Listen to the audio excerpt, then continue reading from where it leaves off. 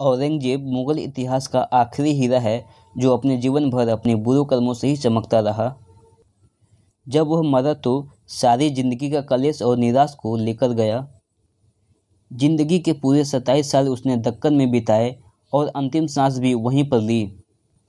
वह इतना कट्टर धार्मिक था कि उसने बीजापुर गोलकुंडा जैसे मुस्लिम रियासतों को भी जीत लिया। एक और राज्य में दुर्व्यवस्था फैल गई है, दूसरी ओर वह वृद्ध हो गया है। पहले जैसी ताकत उसके शरीर में नहीं रही। उसकी चिंताएँ उसे एक पल के लिए भी चैन नहीं लेने देती और अंत में हताश होकर वह अहमदनगर लौट आया। वह इतना बीमार हो गया है कि दिल्ली जाने में भी समर्थ नहीं है। मजबूर होकर वह अहमदनगर किले में पड़ा हुआ है। शरीर उसका टूट चुका है। ज़ोर और खांसी से वह ग्रस्त हो गया है। अवस्था उसकी नवासी वर्ष की हो गई है। उसके पास मात्र उसकी बेटी जीनत बैठी हुई है। भय और आशंका से जीनत का चेहरा उदास हो गया है। औरंगज़ेब की खांसी एक पल के लिए भी नहीं रुकती। वह बड़ा परेशान है। वह अपनी बेटी से कहता है, यह खांसी की आवाज़ नहीं, मेरी मौत की आवाज़ है। जीनत उसे हौसला देती हुई उसके दर्द को कम करने का प्रयत्न करती है, पर वह नाकामयाब रहती है।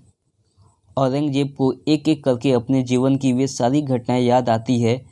जिसे करते वक्त उसने एक लम्हे के लिए भी नहीं सोचा था। वे ही घटनाएँ आज उसका दुख का कारण बन गई है। कैसे उसने संभाजी का वध किया था? इस्लाम का नाम दुनिया में बुलंद करने के लिए उसने कितनी कार्रवाइयाँ की थी, उसे सब याद आ रहा है।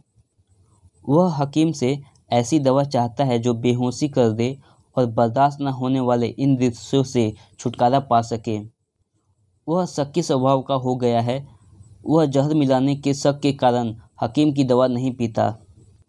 आज उसे पछतावा हो रहा है कि जीवन भर अविश्वास के कारण उसने किसी को भी अपना नहीं बनाया। पर मृत्यु सजा पर उसे अपने बेटों की बेहद याद सता रही है।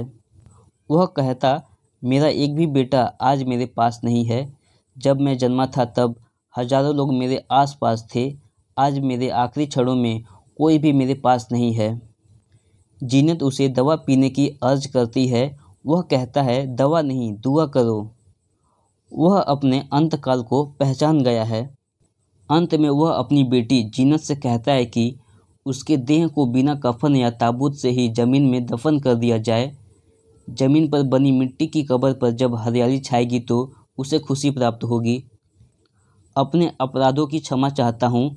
दारा सूजा मुराद के नाम लेते हुए औरंगज़ेब दुनिया को छोड़कर चला जाता है।